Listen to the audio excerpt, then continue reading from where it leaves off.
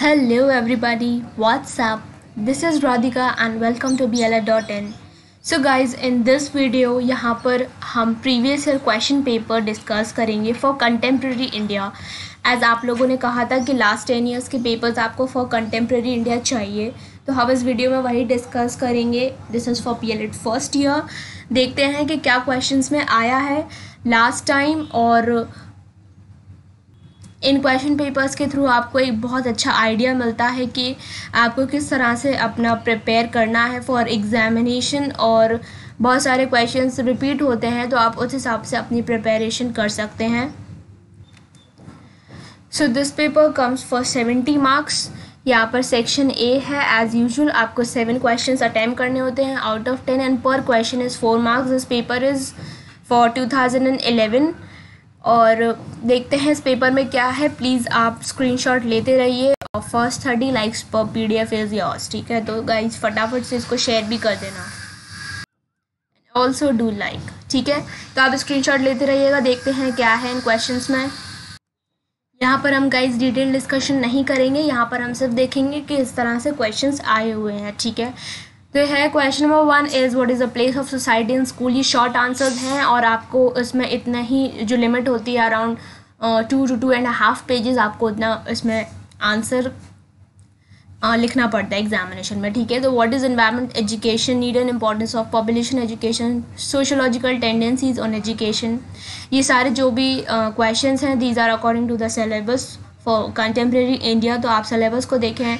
और इन question papers के थ्रू आप बहुत अच्छे से एंड आपको ये जो भी सिलेबस है, इसका मटेरियल कहाँ से मिलेगा, उसके लिए आप वीडियो को एंड तक देखिए। मैं वहाँ पर आपको बताऊँगी कि आपको ये सारा सिलेबस कहाँ पर कंपाइल्ड मिलेगा फॉर इंग्लिश मीडियम ठीक है?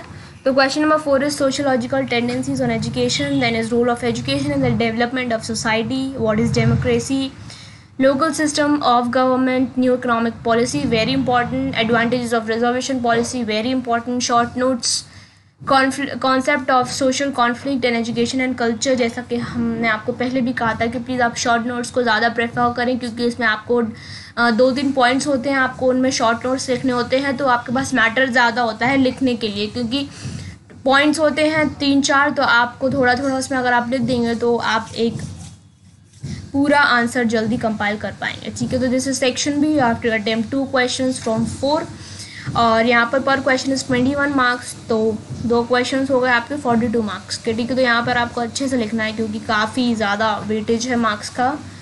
तो question number one is need and importance of national policy of education merits and demerits of democracy अभी हम देखा था कि शॉर्ट में भी ये क्वेश्चन आए हैं। Poverty can be how poverty can be removed in India what are the suggested so next is that what is suggested about primary education in Indian constitution तो ये हमारा 2011 का now is 2012 instruction page Now question number one is role of family in cultural development of the children. Second is principle of democracy. आप देख रहे हैं किस तरह से आ रहा है main causes of poverty, environment, education, local system of government.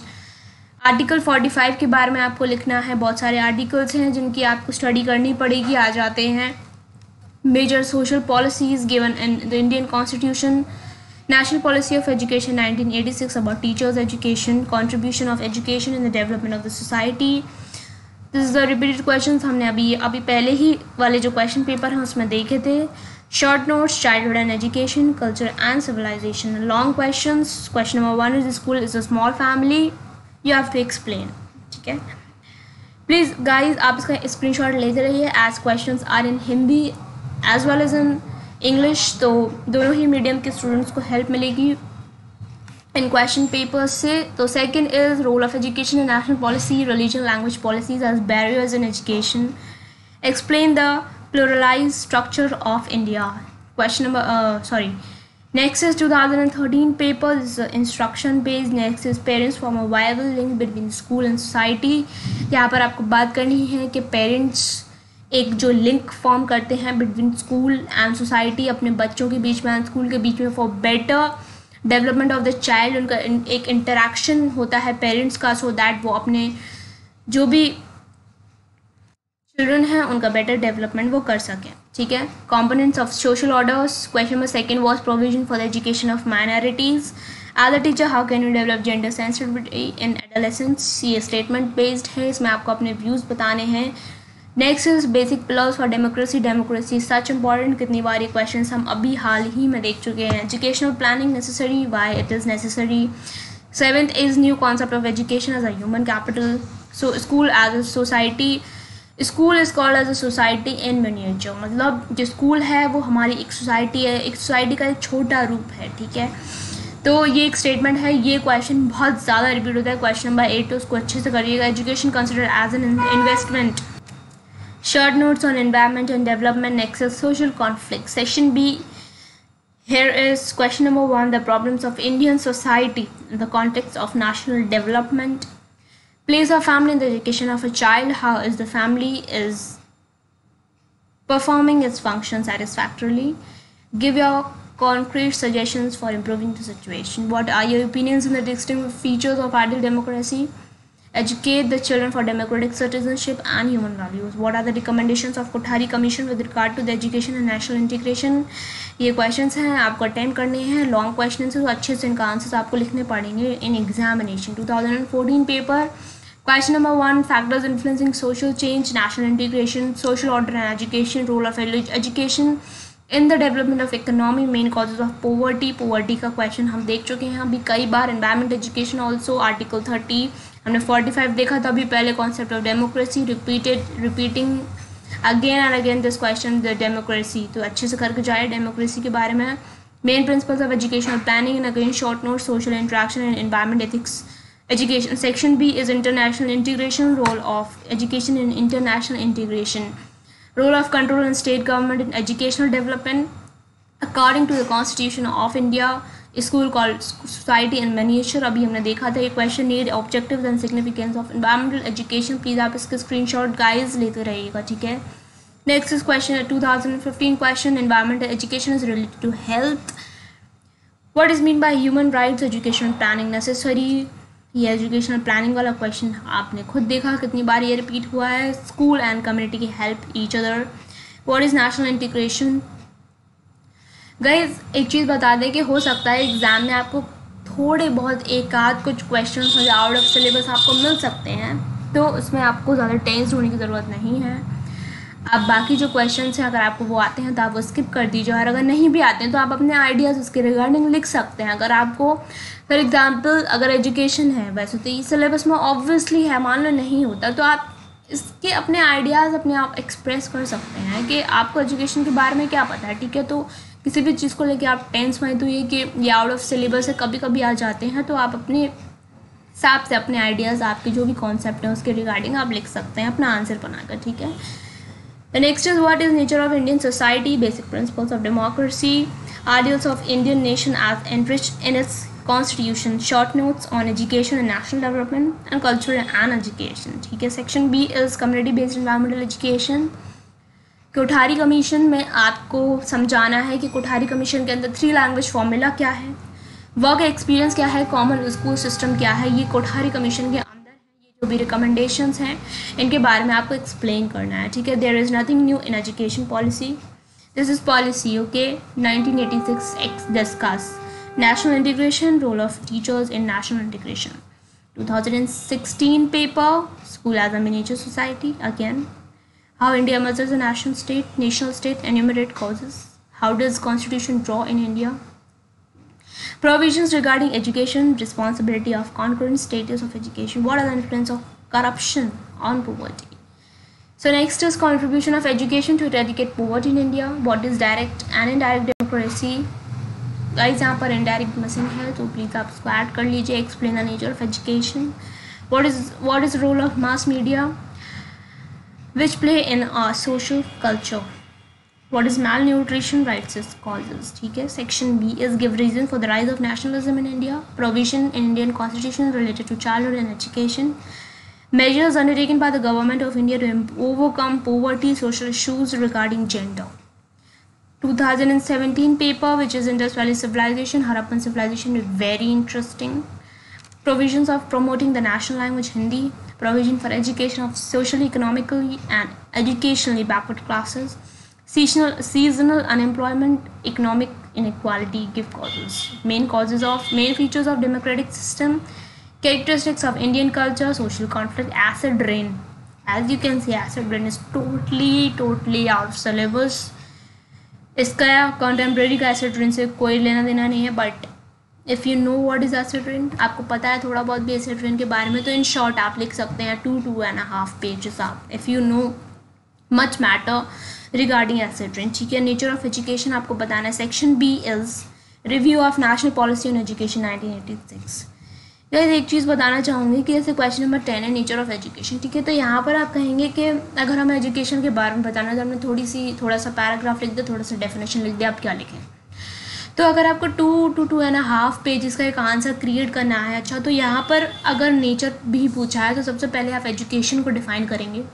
उसकी कुछ definitions according to different authors define करेंगे। अगर आपके पास ज़्यादा मैटर नहीं है तो आप थोड़ी ज़्यादा डेफिनेशंस लिखने की कोशिश करेंगे। And then you will explain the main point जो कि क्वेश्चन में पूछा है, जैसे कि नेचर ऑफ़ एजुकेशन तो आप फिर उसके नेचर के बारे में बताएँगे, ठीक है? इस तरह से आप अपने आंसर को एलेबोरेट करेंगे during exam so this is section B जहाँ पर national policy on education 1986 is so important ये आती ही है How poverty line is estimated in India role of central and state government basis of gender how the child are reared in India discuss 2018 paper how India emerges as a national state and merit causes provision pertaining to mother language how did constitution draw in India discuss the universalization of primary education and what is differentiate between private and public sector Education, what is the contribution of education in eradicating poverty in India? Merits of democracy, direct and indirect democracy, what is culture? Causes of conflict in society. Section B is question number one discuss the program started by the government for education of scheduled castes and scheduled tribes. Factors that lead to the emergence of the new economic policy, work of local system of government and write the factors that influence it what are the causes of environmental pollution in contemporary India and write the steps to put an end to these problems. Last question, last question paper which is 2019.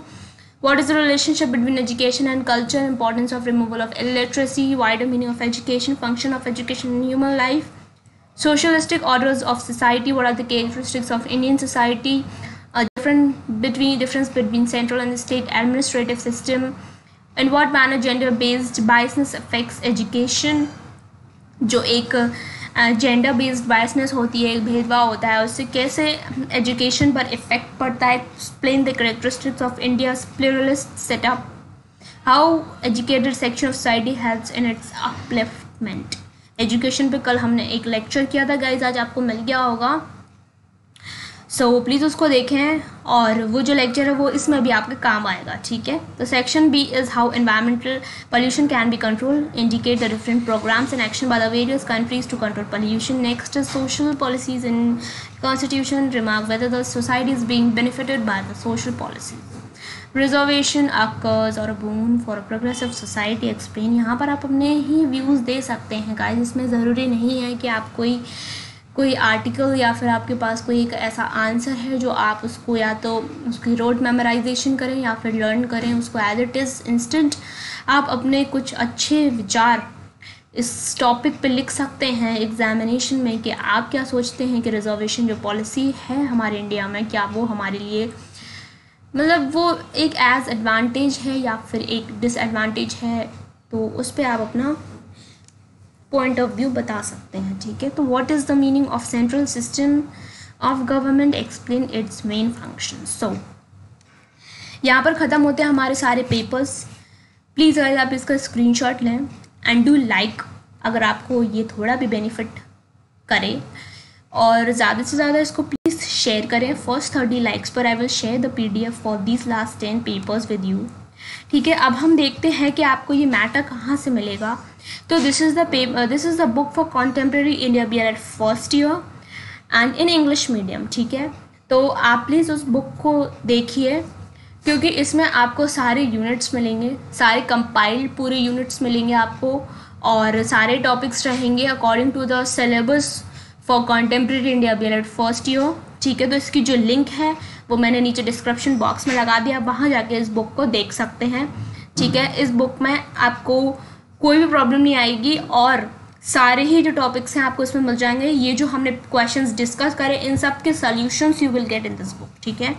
तो please आप इधर उधर से ना ढूंढें, आप परेशान होंगे so please go through this book ठीक है? Link is in the description box at the end जाते जाते प्लीज़ उसको लाइक करें guys do share and do subscribe the channel bell button पर प्लीज़ क्लिक करें सो so दैट आपको सारे नोटिफिकेशंस मिल जाएँ, ठीक है? और हम ऐसे ही बहुत सारे वीडियोस आपके लिए लेते आएँगे और आपको जो भी अभी ज़रूरत हो, जिस भी क्वेश्चन पेपर की आप नीचे मुझे मैसेंजर की लिंक है, वहाँ पर मुझे बता सकते हैं कमेंट बॉक्स में भी बता सकते हैं, ठीक है? और अपने रिस्पेक्टिव यूनिवर्सिटीज़ के पेपर्स मुझे ईमेल कर सकते हैं और B notes at the rate Gmail dot com पर, ठीक है? So till then goodbye take care and all the best